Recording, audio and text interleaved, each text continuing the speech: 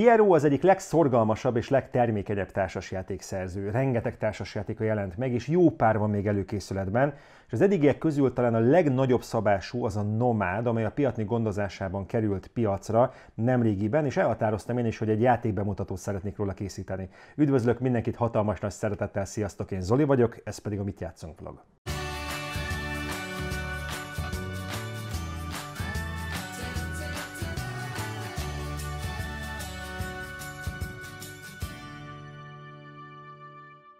A Nomád egy családi társas játék, ennek megfelelően a játékszabályok sem kifejezetten bonyolultak. A következőkben hasznosnak tartom gyorsan átfutni az alapszabályokon nagy vonalakban. Lássuk. Így néz ki a Nomád című társas játék, hogyha három játékosra készítettem elő. Ebben a társas játékban a játékosok egy nomád törzset irányítanak, hogy az ősi romokhoz megpróbálják minél közelebb költöztetni a jurtájukat. Ez egy győzelmi pont gyűjtögetős társas játék, amiben az imént említett kondíciót teljesíteni sok győzelmi pont, a játékosok fognak vadászni, mindenféle különleges képességet használnak, és a felfedezett területek is jó sok pontot érhetnek a játékosoknak a játék végén. A játék fordulókra van osztva, összesen 12 fordulót fogunk játszani, minden fordulónak megadott lépései vannak. Először imádkozással eldöntik a játékosok, hogy hány lapkát és hány akciót hajthatnak végig, illetve hogy milyen sorrendben. Ezután történik egy felfedezés fázis, amikor a játékosok lapkákhoz jutnak és végül akciókat hajtatnak végre. Mindegyik játékos annyit, amit ezen az imádkozás sámán dombon határoznak meg maguknak. Mindegyik játékos kap egy játékos táblát, valamint egy ilyen kiegészítő táblát a saját színében egy jurtát, három vadászt, az egyik vadászt tegye a jurtája mellé, illetve ezen kívül két vadászt a megfelelő helyre. Ezen kívül mindegyik játékos kap 10 darab ilyen korongot, amit majd a segédtáblára pakolgathat le ezzel különleges akciókat kinyitva. Összesen kétféle tájlapkát különböztetünk meg, ebből az egyik az 12, 12 lapkából álló stóc, ezt vegyük külön a többiektől, ez határozza majd meg a fordulók számát, és minden fordulóban összesen 8 lapkát fogunk felfordítani, ebből az egyik a forduló lapkák, fordulólapka lesz, és hogy az utolsó fordulólapkát is felfordítottuk, az lesz a játék utolsó fordulója, ezután következik a játékvégi pontszámítás. Tehát minden forduló előkészületéhez tartozik, hogy van két zsák, a zöldben zsákmányállatok találhatók, abból kihúzom kettőt, a pirosban pedig ragadozók, abból pedig egyet. Ezáltal egy ilyen 8 lapkából plusz 3 tokenből álló kínálatot csinálnak a játékosok. Amint ez elkészült, a játék elén beállított kezdőjátékostól kezdve a játékosok imádkoznak és beállítják ezen a kis dombocskán, hogy milyen sorrendben szeretnének jönni, illetve hogy hány lapkát szeretnének felvenni, valamint hány akciót szeretnének végrehajtani. Ezt a kék játékos kezdi meg, ő azt mondja, hogy ebből a kínálatból nekem kettő lapkár lesz szükségem, ezután a sárga játékos azt mondja, nekem elég lesz egy, a rózsaszín játékos pedig azt mondja, hogy én három lapkát szeretnék elvenni, és majd két akció számomra elegendő lesz. Fontos, még az előkészületekhez hozzátartozik, hogy mindegyik játékos véletlenszerűen két lapkával kezdi meg a játékot. A sárga játékosunk lesz a kezdőjátékos, ő azt mondja, hogy ho meglehetősen hasznos, hogy évek először, ugyanis számomra egészen biztosan kell majd ez az erdő, és ezt az erdőt a játékos a saját kezében tartott tokenekhez, vagy hát ilyen lapkákhoz, tájlapkákhoz teszi. Ebből nem lehet a játékosnak hétnél több, tehát muszáj lesz majd akció során ezeket lepakolgatnia, amennyiben hétnél több lenne, a játékos az előre kijelölt helyre ezeket pakolgatja le. Most a kék játékos jön, a kék játékos a közös készletből vesz el az itt látható mennyiségű lapkát, ő azt mondja, hogy neki kettőre van szüksége, az egyik lapkájára egészen biztosan le tud majd tenni egy ilyen vadállatot úgy, hogy ezt elveszi, ezt rögtön, mivel nem tudja azonnal letenni a területre, ezt a saját helyére teszi, ebből maximum három állatkát őrizgethet meg, és még jogosult még egy lapkáról azt mondja, hogy számára a víz majd nagyon hasznos lesz, és rögtön elveszi ezt a vízlapkát, ami a kezébe tesz, azután következik a rózsaszín, vagy hát a piros játékosunk, aki három lapkát vesz el. Ő nagyon boldog, hogy a halat meghagyták neki, a többiek ez egy, kettő, három lapkával befejezte ő is ezt a fázist. Az itt maradt lapkák azok dobópakliba kerülnek attól függetlenül, hogy milyen hátoldaluk van, és az itt, itt látható állat is majd kimegy a játékból, és minden egyes forduló elén újra töltjük majd ezt a kínálatot. A következő fázis az akciókat a játékosok akár szimultán is megejthetik, itt nincs egymásra hatásuk, és a játékosok háromféle akcióból választhatnak, összesen annyit, amennyi a sámándomon szerepel, tehát a sárga játékos négy akciót költhet el, a kék játékos hármat, a rózsaszín játékos pedig kettőt. Abban az esetben, hogyha a sámán dob legfelső szintjére megyünk, akkor a játékos öt akcióval rendelkezik, viszont nem jut lapkához. A legalsó pozícióban a játékos nem tud akciót elkölteni, de öt lapkával kiegészítheti a kezét, illetve a tábláját. Akcióba kerül a játékosnak letenni egy tereptípust. A tereptípusnak van egy lehelyezési szabálya, formát formához, vagy hát szín színhez kell csatolni, ez így abszolút megengedett viszont nem szabad, nem összeillő formákat tenni, és oldalán ezeknek a lapkáknak láthatók ilyen félköröket, ez lehet narancssárga, zöld, illetve rózsaszín. Ezeket érdemes befejezni, mert hogyha a játékos egy zöld kört fejez be, Például mondjuk a játékosunk azt mondja, az első lapka, a rózsaszín játékosunk ezt le szeretné tenni, abszolút megengedett ezzel bármi szomszédos lehet, és ezzel befejezett egy zöld kör, de igazából ez így elegánsabb, látom a többi lapkáját talán ez így jobban megéri. Befejezett egy zöld kört, azonnal húzhat a zöld zsákból egy állatot, amit akár azonnal lehelyezhet. Állat lehelyezés a térkép lapkára az nem akció, ez bármikor megteheti a játékos. A rózsaszín játékosunk két ilyen akcióval rendelkezik, tegyük, hogy ez volt az első akció, hogy letette ezt a lapkát, befejezett egy zöld kört, azonnal oda tett egy oda tette egy halacskát, és a második akciójával pedig azt mondja, hogy én mozgatni szeretném a vadászomat. Tehát a játékos, amikor akciót költ el, akkor vagy a lapkát tesz le, vagy mozgatja a vadász. Hogyha a vadász egy zöld hátoldalú, tehát zsákmányállatra ért, akkor azt azonnal elejti, ilyenkor ezt lefordítja. A harmadik lehetőség pedig, amit akár eszközölhetne is a játékos, ha lenne rá akciója, hogy mozgatja a jurtát. A, mozga jurta, a, a sátor vagy a jurta mozgatásához viszont egy elejtett állatkorongot kell a megfelelő helyre tenni a játékosnak. Itt rögtön jelöli is a tábla, hogy ha oda tesz egy állatkorongot, teljesen egy, hogy miért egy, pontos, egy pontosat vagy három pontosat, ugyanis a zsákmányat egy pontot ér a játék végén, a ragadozó pedig három pontot, úgyhogy érdemes a zsákmányatot oda tenni, hogy a játékos mozgathassa a jurtát. A jurta, mozgatás, a jurta mozgatása fontos, mert mínusz 6 pontot ér, hogyha itt van, és minél jobban a jobb alsó sarokba sikerül feszíteni,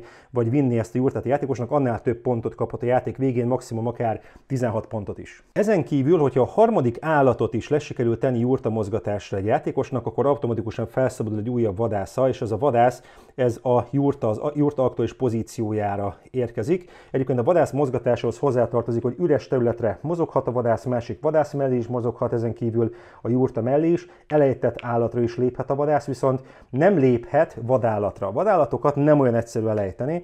Minden egyes ilyen tájlapkára kerülhet zsákmányállat is, illetve vadállat is, és ez, szerintem ez egy kifejezetten jó szabály, hogy többféle állatot is tud fogadni, de mindegyikből egyet, de ahhoz, hogy a játékos ilyen vadállatot ejtsen el, ahhoz bizony jurtára is szükség van. A kék játékosunk három akcióval gazdálkodik, a kék játékosunk ezt ide leteszi, abszolút megengedett a lehelyezési szabály, befejezette egy zöld kört, úgyhogy jogos volt a játékos egy zöld elem elvételére. A második akcióval azt mondja, hogy ő ezt szeretné ide letenni. Abszolút megengedett, a félkör nincs befejezve, nem baj, viszont a, a tereptípusok megfelelnek, és a játékos bármikor akció nélkül feltehet ilyen állatokat a térre, és egy-kettő akciót használt a játékos, és ezután a játékos azt mondja, hogy mozdulni szeretnék a vadásszal egy ragadozóra, egy vadállatra, viszont ezt csak akkor teheti meg, hogyha a ragadozó szomszédjában található maga a sátortábor, hogyha ez nincs ott, akkor nem lehet rálépni, ezt nem olyan egyszerű ejteni, ehhez a tábornak a támogatása is kell. Ez jelen pillanatban megvan, de is fordítja ezt a játékos, és hogyha a játékos a játék terén tartja ezt a tokent a játék végéig, akkor három pont lesz ez neki a játék végén. Minden egyes nem fel felfordult általános nem ér pontot, érdemes ezeket levadászni, hogy vagy pontot érjen a játék végén, vagy a tábor tudjuk mozgatni. Ugye beszéltünk a piros meg a zöld karikákról, a rózsaszín karikák arra lesz majd jó játékosnak, hogy ezeket a Holz cukorkára hajazó tokeneket le tudja tenni a tábla ezen részére, és azonnal végrehajthatja az ott látható akciót. Ez vagy a vadász mozgatása, vagy a mozgatása, vagy lent lévő térkéklapka átmozgatása, esetleg új húzása a zsákból. Mindegyik játékosnak 10 ilyen korongja van, ezt 10-szer tudja használni, és mindent azért, hogy a jobb alsó sarokban mozogjon a jurta, lehető legtöbb állat legyen a megfelelő helyen lehetőleg levadászva, ezen kívül egybefüggő területeket képezzen a játékos a különféle tereplapkákkal. A játékszabály végén található egy táblázat, dolgot, mely részletezi a, te, a tereptípusokat, és hogy ezekből mennyit kell összegyűjteni játékosoknak egybefüggő területként, hogy ez győzelmi pontot érjen. Egy-kettő ebből maximalizálva maximum 8 pont, de a rét az meglehetősen sokszor szerepel lapkákon, abból jó sokat kell egybefüggő gyűjteni, hogy győzelmi pontot érjen, viszont egy jó nagy rét az jó sok pontot érhet, és minél nehezebben beszerezhető tereptípus, annál kisebbet elég egymás mellé pakolgatni. Ami még fontos, hogy a forduló végén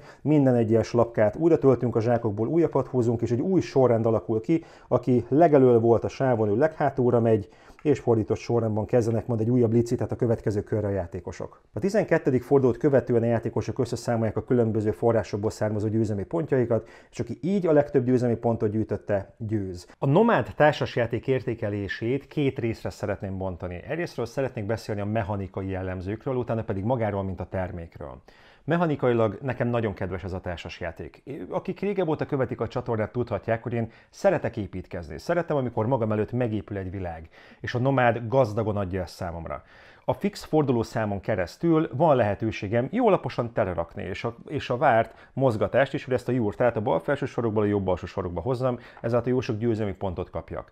Nekem a vadászatnak a dinamikája kifejezetten tetszett. Szerettem mozgatni ezeket a vadászokat, és jó az ötlet, hogy kétféle állattal találkozhatom, zsákmányállattal, illetve vadállattal vagy ragadozóval. A ragadozóhoz kell egy ügyes dinamikát hozzak, hogy mozgatnom kell a jurtát, amit egy állat befizetésével kell eszközölnöm. Nagyon jó ez a tánc, hogy egyszerre mozgatom tartom a házat, ami segít a vadásznak vadászni nagy vadat. A nagy vadat pedig nem szeretném elkölteni jurtára, mert nagyon nem mindegy, hogy egy vagy három pontot költöttem el arra, hogy mozduljak a nagyobb pont érdekében. Úgyhogy ez egy nagyon izgalmas tánc és egyediség a sok építgetős játékhoz képest.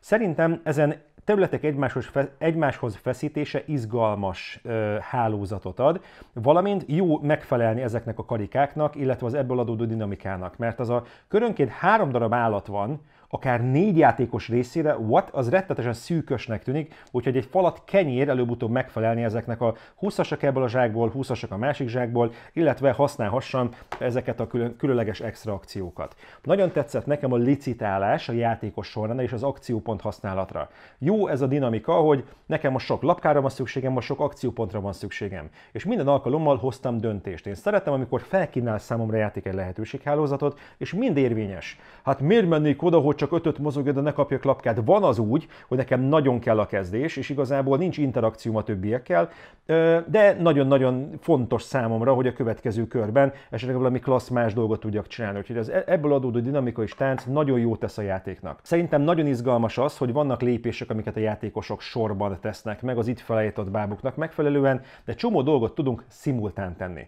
Tapasztaltabb játékosok masszívan tudják redukálni a játékidőt. Azt mondja, hogy egy-másfél óra, szerintem, hogyha négyen játszok és tapasztalt játékosok, megtartható egy órában a játék, mert az akciópontokat, azokat a többiektől függetlenül magamnak lépkedem le. Jó, hogy van interakció, olyan kellemes eurós egymásról elhappolás van, ott egy tó, nekem van egy halam, valahova le akarom tenni, úgyhogy inkább följebb megyek, hogy ezt az egyetlen dolgot tudjam elvinni, de hamarabb, mint a többiek. És lehet az, hogy oké, okay, sok lapkát akarok, de a többiek után fogok soron következni, és könnyen lehet, hogy a kínálat számomra nem kifejezetten kedves. Úgyhogy jó ez a bizonyos egymásra hatás, vagy egymás elől elvételszabály, de az, hogy a játéknak egy jelentős részét a többiekkel szimultán tudom eszközölni, nagyon jót tesz a játékidőnek. És most beszélnék egy picit a termékről, ami nekem felemás.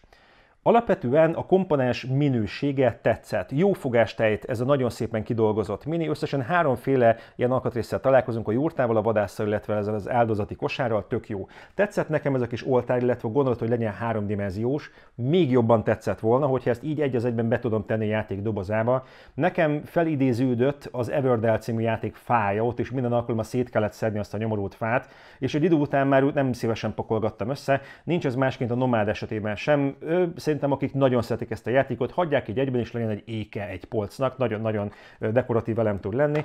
Ami számomra a legnehezebben szerethető elem ennek a játéknak, azok a lapkáknak az illusztrációi. Beszéltem Tamással, Pieróval, aki mondta, hogy igen, lehet, hogy ezek újra színezése lesz majd a következő kiadásban, amit én is szorgalmazok, és nagyon örülnék neki, mert túlságosan morózus, illetve a barna, illetve szürke 50 ányalatát láthatom, ami olyan 2000-es évek elejé Stefán Feldes hangulatot kölcsönöz. Egyszerűen nincs összhangban a játék tónusával. Ez egy nagyon vidám alkatrész, rózsaszín, kellemes, és maga a játék is alapvetően, juhú, megyünk felfedezni, vadászunk, új helyre költözünk, érzem a nomád életérzést, de pusztán, mocsárban, lápon keresztül.